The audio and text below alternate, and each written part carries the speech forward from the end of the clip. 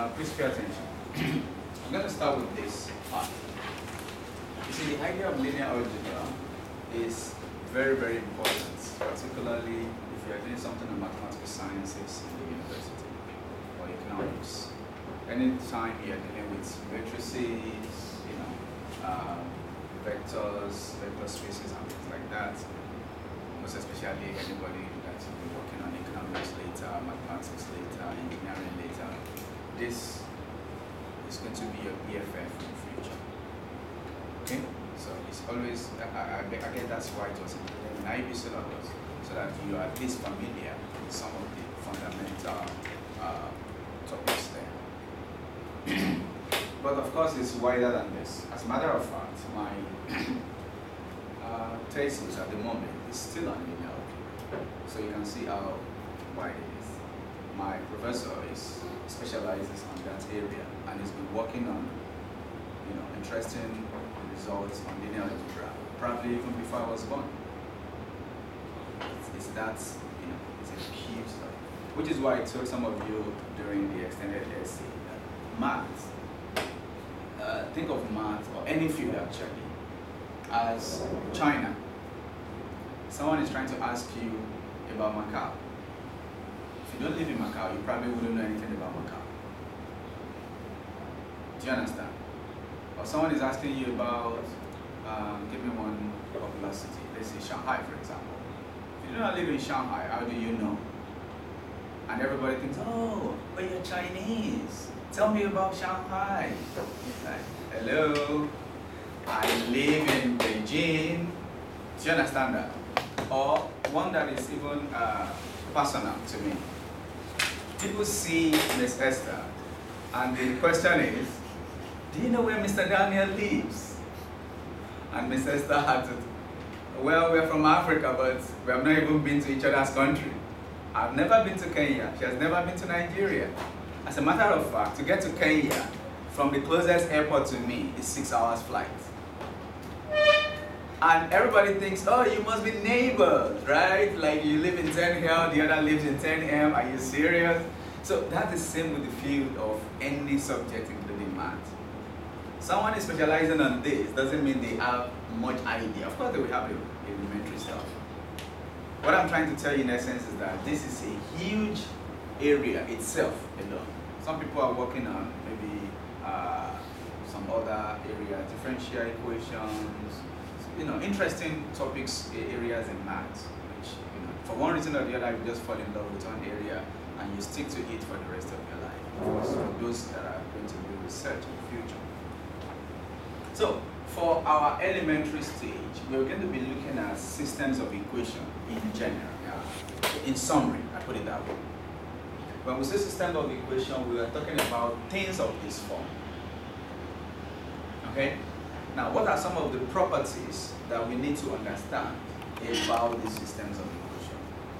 What do we know about them? What are the major terminologies we need to get familiar with? That is why we are beginning with this.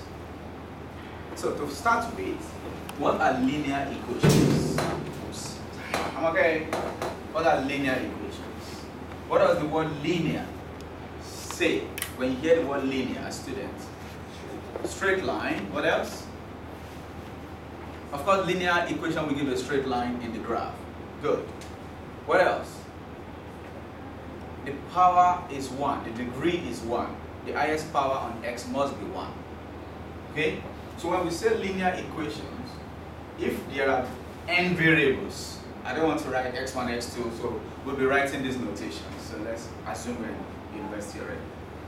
So if there are x uh, n variables, x1, x2, x3, x4, that's the meaning of xi.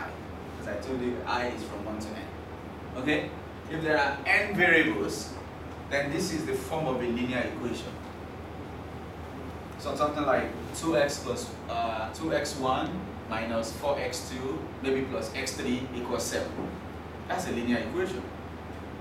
Okay? But that is in three variables. You are used to something like this. From middle school, 2x plus 1 equals 5. I wish many of you wish you could go back to this stage, right? And life would be so much easier. So this is a linear equation in one variable. You can have a linear equation in two variables. Okay? You can have system of two linear equations in two variables. Does it make sense? So the moment you have more than one, the word system has to be used, especially. Okay? Anyway, when we talk about solution, as the name implies, results. Okay? The result when you solve the equation. How do you know this is a solution? If you put it back, it makes sense. The left must be equal to the right for all the equation in the system, not just for one of them. i give you an example. 2y plus 2x plus y equals maybe 5 x plus y equals 1 what i assume this is the correct equation. Oh x is 2 and y is 1 and I just yay I got the answer. Because when I put it here 2 times 2 plus 1 is 5 but when I put here does it make sense? Then the so-called x is 2 y is 1 is not a solution. It may satisfy one of them, but if it doesn't satisfy all the equations, it's not a solution for. Your two, the implication is this. 2x plus y will look this way if you plot the graph. Right? Yes, it will look that way if you plot the graph because it's going to be a negative gradient. Similarly, that will also maybe not parallel, but it might look this way if you plot the graph. What you have done, because this is going to be x minus, no, minus x plus 1. So it's also a negative gradient and the intercept will be 1. y-intercept will be 1. So if you have this, y-intercept of this is 1. Uh, x-intercept actually. y-intercept of this is 5 over 2 or 2 over 5. y equals what? 5 minus 2x. That's 5. y-intercept is 5 and x-intercept is when y is equal to 0 you get 2.5, something like this. So you can see. So they might end up meeting somewhere. But you claim 2, 1. X is 2, Y is 1, maybe something here. You are only, what you got here, uh, the fact that it satisfies left and right is only establishing that that point is exactly on the line. It doesn't mean that is where the two meet. The solution is where all the uh, things meet. Does it make sense? be here. So try. Okay. So a solution must satisfy all the points in the equation, left and right. So if the solution, so I said by solution of the above linear equation, we mean some constant ci. So i also is from 1 to n. Okay, c1, c2, c3, such that when you substitute xi is ci, left and right will make sense. That's what I mean by satisfying the equation.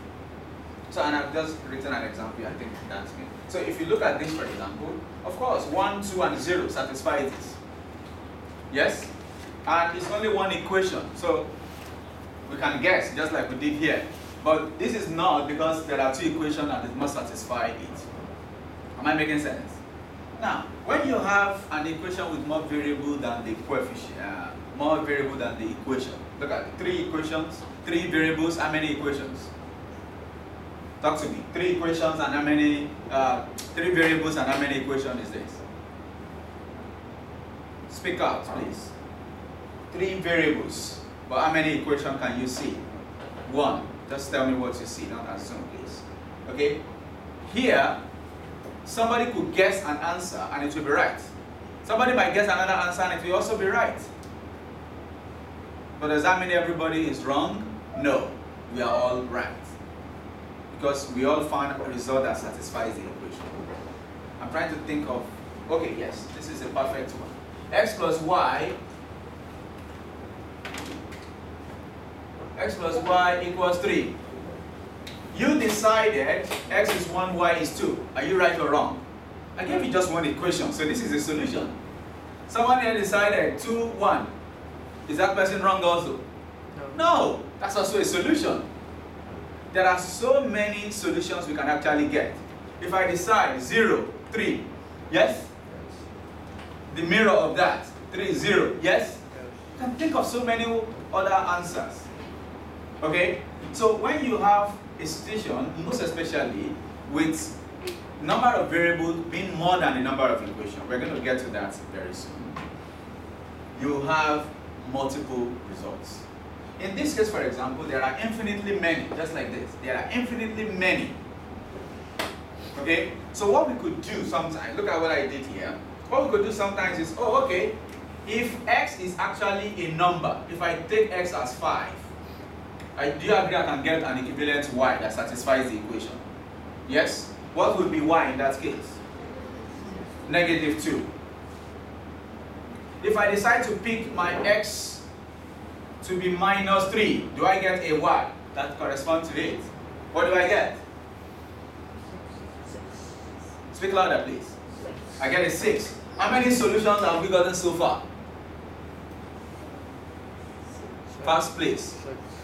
Speak louder, Leo. When you're speaking in class, you speak louder. I don't know what you're afraid of. Just speak. Even if it is rubbish to you, it might be sensible to me. Just speak out. Alright? So far, we have how many solutions, everybody? Six. But we can actually change x, right? And get corresponding y. Do you have a, a, a limited number of x values you could use? So there are infinitely many x, and so there will be infinitely many y. Which means this equation has infinitely many solutions. Does it make sense now?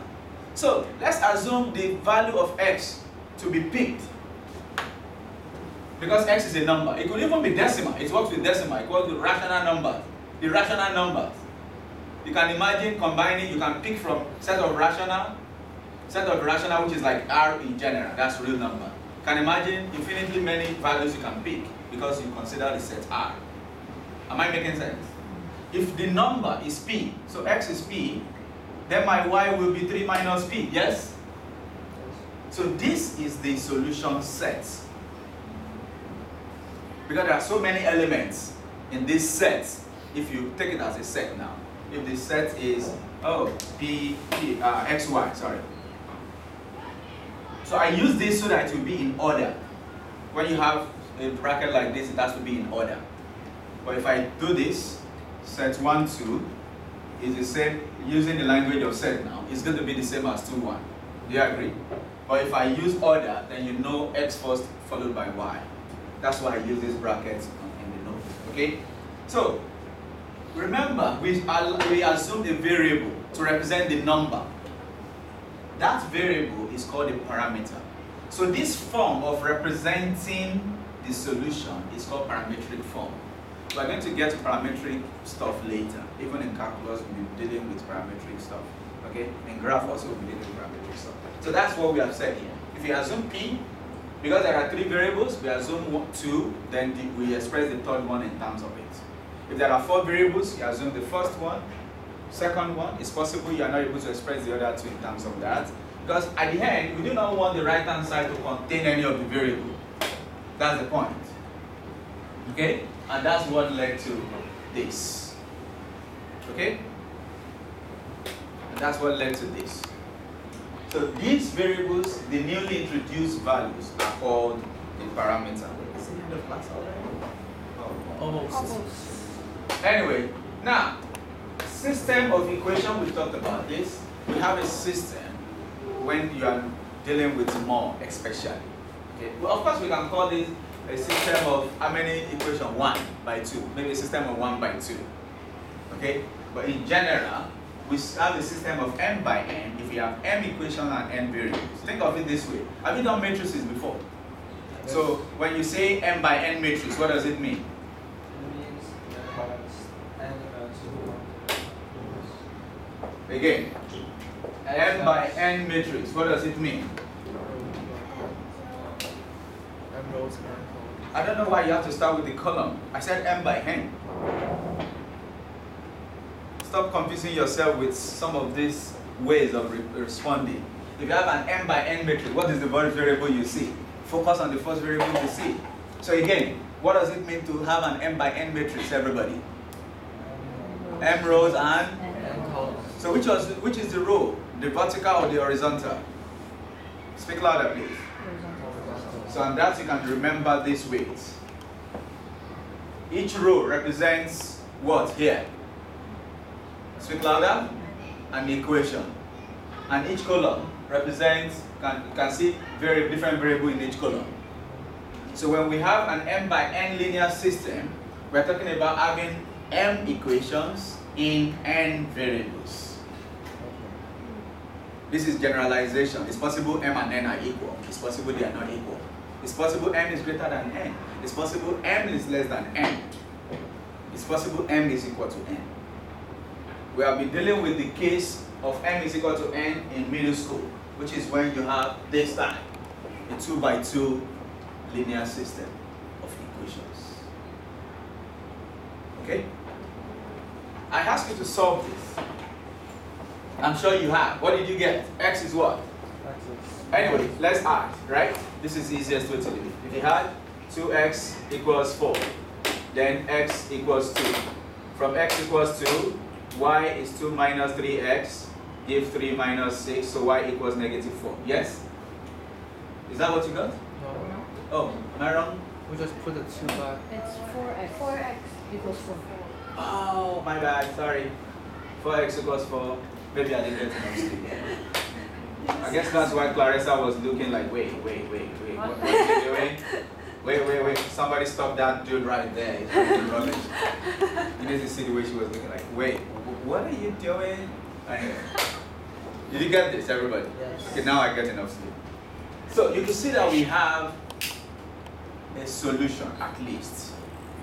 There's an answer, just like those ones also. There are answers. Let's look at this. Oh, okay, we can multiply this by 3, right? So we're gonna have 6a minus 3b because negative 9 combined with this is equation 1 and the other equation oh uh, This is. you see a problem Yeah. if we try to subtract oopsie 0, 0. this does not have solution That's the answer. It doesn't have a solution. There's no answer. When you say that's the answer it means i can find oh that's the person. Nobody is there. You can't say that's the answer. But that's what you could do. There's a reason i gave this.